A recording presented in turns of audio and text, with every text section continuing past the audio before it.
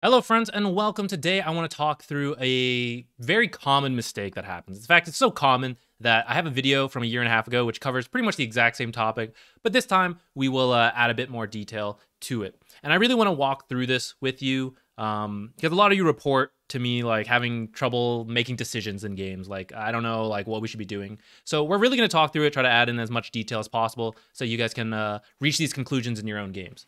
So we're going to be talking from the Dire perspective right now. Let's actually switch to just their view. And I was showing their items, you know, pause if you want to look through it. Um, here's like the net worth, Rosh timer. I'll like flip through all the heroes real quick if you want to see like their their abilities and item cooldowns, stuff like that. But I'll talk through some of this with you, and then I want you guys to like come up with uh, what you think should happen in some of these. So right now, Dire's pretty behind. They're defending their high ground. Uh, Radiant had Aegis, but they lost a little bit earlier. That's why some cooldowns are down. Some heroes are dead, as you can see. So uh, coming up here as a Dire, you know, what should you do? How do you get out of this situation? And how do you start clawing your way back into the game now that you're 12k behind? So you can see them pinging their triangle, and they're going to start moving into here. So first question, let me ask you guys, is this a good idea for the Dire team? The answer has actually already shown itself a little bit uh, a few seconds ago. Luna is up here. She was down here. Now she's up here. There's no physical way to walk that far in that amount of time, which tells me that Luna teleported. Luna, who has 17k net worth, and if you take that out of this 12k advantage, they're actually 5k behind because now there's only four heroes here.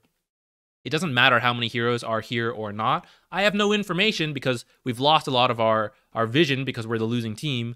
But from the vision I got from the lanes, which is that Luna suddenly showed up here when I last saw her here, 100% guaranteed four heroes maximum in this area. That's how I know as the Dire, I can now safely move into here. I mean, it might be a fight if there's four heroes here, and I guess it depends how far behind you are. Like, maybe you still lose to a, a 5v4, in which case, I don't know, you're really behind. Then you need to see more heroes. In this case, it's not so far behind that they can't take this fight. So, moving up here is the correct decision, although they're a little scattered. They should probably be a little bit more together before coming up here. But surprise, surprise, they do get up here, and they take a pretty decent fight. We'll start slowing it down again here. Uh, they go for this puck. Puck barely gets out. So, pop quiz again. What should you do as the Dire? How do you start coming back from this 10k disadvantage? You can pause here if you want to think about it, um, but I will now just start telling you my thoughts. So when you're this behind in a game, and in the game you don't know you're like 10k behind, but you probably have a feeling, right? They have most of your towers. They've been kind of dictating the pace of the game you need to avoid full on five on five fights. Even though you have like some good heroes for it, like Warlock, if the enemy team's ahead and they bring their full net worth and XP advantage against your net worth and XP, like they tend to come out ahead. So we don't want any like five on five direct fights. We want smaller fights where we bring more numbers or we take very advantageous fights in good positions. For example, maybe it is a five on five fight, but we have the advantage of our tier three high ground, right? We need as many advantages as we can get, so we need good vision to do that. So after you kill these two heroes, one of the most important things to do right now, okay, actually first, the most important thing to do would be Roshan if it were up, but it was killed earlier, so that's actually not a concern for us right now. If it was up, this is probably priority number one, just like bolt over here and try to do this. Uh, if they buy back, then you like fall off a little bit. Because it's down, we move on to the next uh, objective, which is map control. We need vision right now. It would be a big mistake to spend a lot of this time on our own half of the map right now, because guess what? Like I said, earlier when we knew Luna was up here, I can't possibly run into five heroes, right? Two heroes are dead, which means I cannot possibly run into five enemy heroes if I play on the enemy's half of the map. So, as a team, we need to come to the enemy's half of the map for their farm and to deward and put our own wards so that we can start getting vision. Because right now the map's so dark, we got enough information off of Luna TPing here. But what if she didn't show there? What if she TP'd in here and was jungling? Then I don't really know, and I'm stuck in my base waiting. And Luna's getting more farm, and they're farming here. And I don't have enough information to make an educated guess at a play. So we need any kind of deep vision we can get to see the enemy start to split up, and then I know where I can move, whether I have to dodge top or moving to bottom. That is super important right now as a support player. If you're watching this, keep that in mind. Like any vision you need to do right now, This is not time to like put your own defensive wards on your own half of the map. You need at least one, if not more, deep wards to see when the enemy is scattered because this is the only time you can come over here. If the enemies are up, you're stuck on your own half of the map, and that's when you can place defensive wards. This is a rare opportunity where you killed them, the team ahead, so you need to place vision on their half of the map. For the rest of the team, you also need to uh, look to like steal the jungle camps, push in the lane, stuff like that. So what the Dire ends up doing though, is they do come mid to try to shove it out. They bring too many heroes. Is really unnecessary. Dawnbreaker still has Earl. Dawnbreaker can do this alone, or Dawnbreaker can push out bottom while the rest of them start doing things. Um, because aside from map control, there's one other um, thing you could attempt to do depending on the game. This smoke right here, why would you smoke? You smoke if you think you can kill a hero. Or like you're you're gonna try to kill a hero. So for example, Luna, right? I want to kill Luna. That's why I'm smoking right now. Because they're dead for 40 seconds earlier. Now we've lost some time. Now it's 20 seconds. It's getting a little scary. Um, but if I wanted to try to kill Luna, I don't have time to like de-ward at everything and then find her, right? As soon as she sees us, she's gonna start getting out, or she should. This is ancient, by the way. I don't know if I said that. Um, so in that case, we would smoke to really try to up the tempo, and it would happen over here when Puck got away, right? That would be like a smoke and go and try to kill that Puck or Luna. Where's Luna, it's pretty dark on this map. We saw her top, and we know she teleported up here. She has to be in this part of the map. And the longer it takes us to get there, the further and further it gets to be like a complete guess. It's completely uncertain to me where she is. Now, if you come into this triangle looking for her and you don't find her, that's not too bad because I said you need vision on the enemy's half the map. I don't really care if it's top or bottom right now because Roshan's dead. Ultimately, top would be a little better, um, because eventually Rosh will respawn, and I, I, want Vision up here. But for now, it's kind of far enough away where, like, if you put Vision down here, that's still useful for Rosh because you can see when enemies are down here, and then you know to like go into Rosh or something. Um, so as long as it's Vision on the enemy's half of the map, I don't care. That's why if you smoke for Luna and come up here and place wards up here instead of down here, that's fine. It's taken a little bit though, so even though I know Luna's top, like I don't really know where, and it's kind of iffy they end up running into their own, or not their own, into the bottom jungle. And I'm going to tell you guys, this is actually unnecessary because they were dead. And I don't think anyone's down here, right? Five heroes were here, and we lost the team fight. We're, we're talking from the Radiant perspective now. Should I continue to farm in this part of the map? No, this is a pretty bad idea when there's five alive enemy heroes right over here. Everyone should be evacuating this bottom part of the map. So whether you smoke or not, you really shouldn't find anyone here. Because we don't plan to find anyone here and our main objective is to establish vision, I don't even need to use a smoke. I will just walk into here.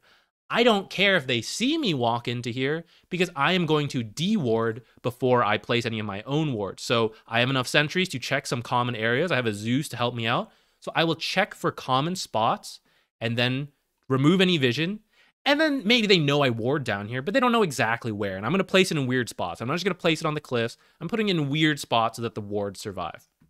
So I don't need to smoke at all for that. I only need to smoke if I'm trying to kill someone and I have to walk through vision. I don't know where their vision is, right? But I have to walk through here. I think there might be wards. And if they see me at all, like whoever I'm going for is going to be out of there.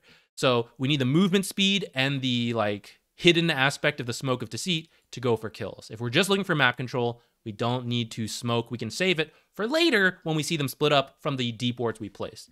Speaking of which, this ward right here by Warlock, you don't want to place this one right now because this is your few chances to like really enter the enemy territory as we talked about. And uh like you can place this when they're all up and just like I do this on stream sometimes, right? I just like scream as I run down here and then run back. And like I run down here and I run back. It's a risk, but it's like it's a lower end risk. So you can kind of place this whenever, but placing these deep wards like way back here, back here, in here, here, like that kind of stuff, that's harder to do. Uh, you really you can only do it like at times like this when you have your team to back you up. And even if the team wasn't here, like I kind of know they're not down here, right? Um, Luna's top, Puck's probably running away low health. So Omniknight maybe, but as a support, I don't really care. I'll just go in. Who cares, right? So they come in here, and I think up to here is kind of okay. Like they smoked, which I don't think they need to. But honestly, in your pubs, I know smokes are underused anyway. So if you smoke for this, whatever, I don't care. Smoke for it, that's fine. The issue is because they smoked, they feel they need to keep going until they find someone. And that is not the case. And in fact, specifically right now, I definitely don't want that to happen. Why?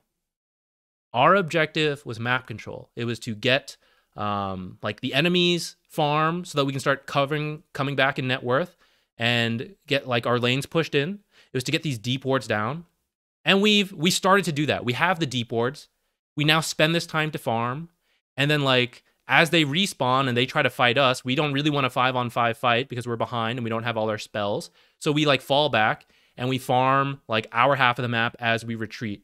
And you're very happy because as they chase you, they're running through like no farm at all. And so that's how you pull up ahead. If they move into this top half of the map, then you're kind of like okay because you're behind and they're just ignoring you and you're all farming. Like, oh, okay, like I'm pretty happy with that actually. So they kind of have to go towards you and then you fall back. If they continue to go, what kind of fight are they going to find? Even if these heroes aren't dead, which they're about to respawn, so they can be anywhere, right, with the teleports, but even if they weren't dead and they were alive, let me tell you that based on what's happened, this is a, a five on five coming up here. How do I know that? Because we started here and we smoked into here. I didn't find anyone. There's no enemy heroes here, and there's no enemy heroes here. That means uh, yeah, they could be in like weird parts of the corners of the map. But uh, for now, like we can just assume like there's no one on the bottom half of the map, which means they're all in the top half of the map. Now, are they in our jungle or this jungle? I'm not fully sure. Now, sometimes we have defensive wards, which is actually in the video I made a year and a half ago. Um, they knew no one was in here because they had defensive wards.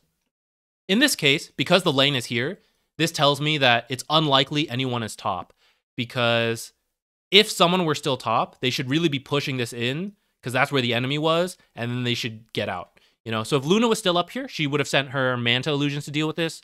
If she's trying to play it safe, which I think she should because she TP'd up here, right? That would be why she can't push this. And if she can't push this, and there's no one else up here to push this, then I'm just going to assume there's no one in our jungle. And whether that assumption is correct or not, the fact is, is that there's a lot telling me there's I, there's a lot of heroes here because I didn't find them anywhere else. And if I walk into here as the Dire, the team that is behind and does not have all their spells, into a disadvantaged spot because we're pushing into the high ground. I have no vision here. I don't know if the enemy has vision here. I'm near their towers. This is not going to go well for me. And guess what? Surprise, surprise. We jump the Luna as heroes are respawning. Hey, where's that Puck who's going to coil us now? Oh, I didn't see him. That's wild. Hey, where's that guardian angel coming from? I don't know. I can't even see. Oh, there he is, right? Up here on the high ground. Well, we're down here fighting in the low ground, which is almost unavoidable because we're coming from here into the high ground. It's so hard to take a fight, right? If you're going to blink blindly up here, you don't even know what you're going into. You just have to like YOLO take that risk. Otherwise, oh, we can place a ward first. That means your support has to be like right over here and then place a ward. If anyone's here, the support's dead first. And the support was supposed to be a backliner. So do you pass wards so the cores gonna walk up? They have no slots. It's too hard to like organize all this. It's so hard to walk up here when no one else, like no one else showed anywhere. There's five heroes here. We have to take this fight so carefully. And it's not possible with the way things are going. We should just sit down here and be happy with what we got. And in fact, even stay here as these heroes respawn, we're going to keep an eye on the map and we're going to see are they pushing mid? Are they pushing top? Maybe then we can do something now that we see them split up. But we don't have that information right now. The enemy might scatter. They might walk into here, into our wards. And then we know, hey, we can fight. We're on the high ground here. They're coming from the low ground. We have vision set up on this cliff. We're very happy to fight. I mean, there's no ward here, but it's like you could put one, you know? This is a much better situation. And you get to like farm in the meantime. And if they don't engage you, again, you're happy because you're the losing team. You're behind. You don't even have all your spells. You don't want to fight. This is the most common mistake I was talking about, where because you smoke, you feel like you got to keep going till you find someone. And like you start here, right? Maybe even start on your base. You go here, you go here, and you're like, I can't find anyone. Let's keep going. Just stop, guys. Be happy with what you found. If you moved all the way through here with the smoke and didn't find anyone, this whole half of the map that's gold. That's XP. Farm it on your way out. Now, of course, Dota is very complex, so maybe there are cases where you should keep going.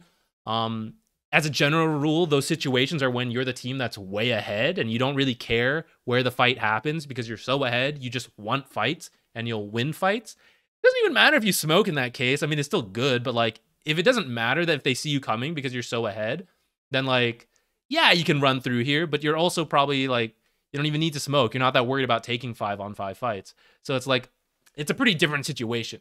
Most games are not that clear cut where you're winning that badly. Uh, you have to take like safer fights, all of that.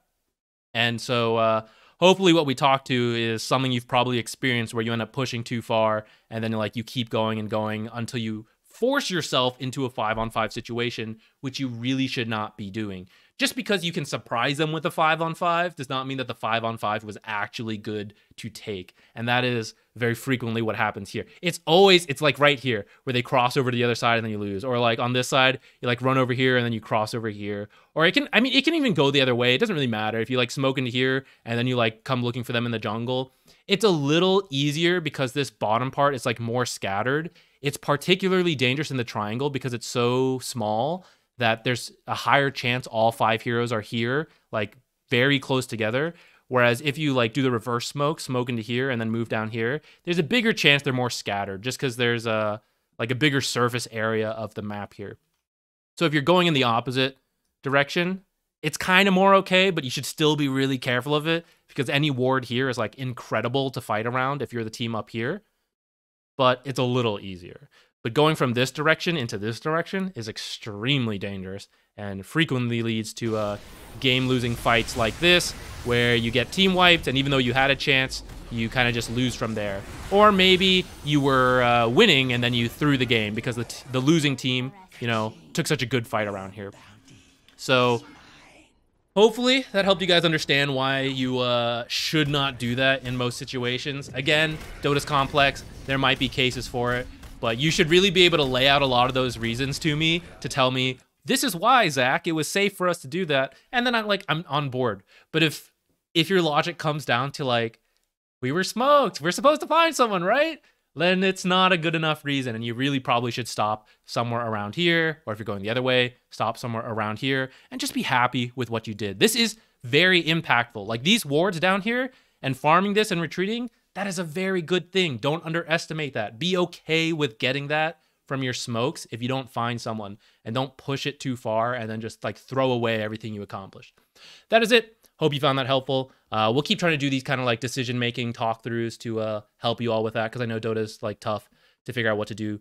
Um, but uh, hopefully from this, you understand like why map awareness is so important, right? Some of these were only obvious because we saw like brief flashes of information, like Luna showing top, and then also by reading the map, understanding like where the enemies are likely to be, so we know where to go and what we can possibly accomplish in those different areas.